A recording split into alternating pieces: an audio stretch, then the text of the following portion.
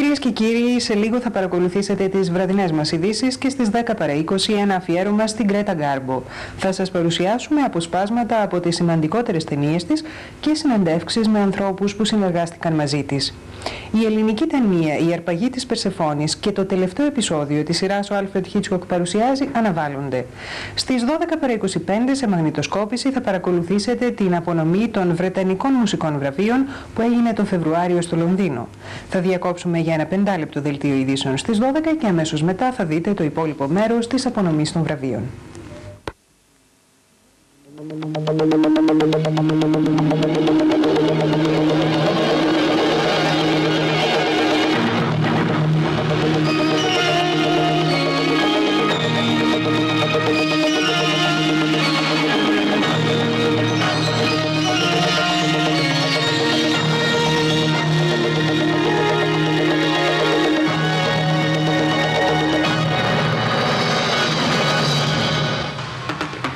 Η κυβέρνηση διαψεύδει επαφές με ΕΟΚ για νέο δάνειο.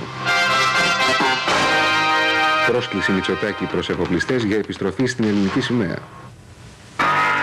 Έκκληση Μητεράν. Κολ για την Ένωση της Ευρώπης. Κυρίες και κύριοι, καλησπέρα σας. Κατηγορηματική διάψευση σήμερα από την κυβέρνηση, διαστόματος κυβερνητικού εκπροσώπου, αλλά και διαστόματος Υπουργού Εθνικής Οικονομίας, ότι διαπραγματεύεται με αξιωματούχους της ΕΟΚ τη σύναψη νέου δανείου. Δέσμευση ότι θα αναβαθμιστεί το Υπουργείο Εμπορικής Ναυτιλίας και ότι θα υπάρξουν ενέργειες για επαναφορά πλοίων υπό ελληνική σημαία, διερεύνηση των δυνατοτήτων για μεταβίβαση των μετοχών των προβληματικών επιχειρήσεων μέσω του χρηματιστηρίου, επαφές με εκπροσώπους των παραγωγικών τάξεων και ανταλλαγή απόψεων πάνω στα καυτά προβλήματα της ελληνικής οικονομίας. Αυτά ως προς την κυβερνητική δραστηριότητα. Κατά τα άλλα, το εκτελεστικό γραφείο του ΠΑΣΟΚ ασχολήθηκε με την στρατηγική του κινήματος. Ο συνασπισμός προετοιμάζεται για την κοινοβουλευτική του μάχη. Στη Λιθουανία τα πράγματα εξακολουθούν να είναι σοβαρά. Τα προβλήματα που αντιμετώπισε το Έλληνο-Ορθόδοξο Πατριαρχείο της Ιερουσαλήμ φαίνεται να βρίσκουν λύση. Οι ημέρε περνούν, η άνοιξη τελειώνει, το καλοκαίρι έρχεται και κάποιες παραλίες είναι επικίνδυνες. Αναλυτικά τώρα. Ο Υπουργός Οικονομικών, Γιάννης Παλαιοκρασά, στην ε, πρώτη επαφή του με τους δημοσιογράφους σήμερα, περιέγραψε με μελενά χρώματα την κατάσταση της οικονομίας και διατύπωσε τις προτεραιότητες που έχει θέσει για την ε, δραστηριότητα του Υπουργείου Οικονομικών. Ακούμε τον Μιχάλη Ανδρουλουδάκη.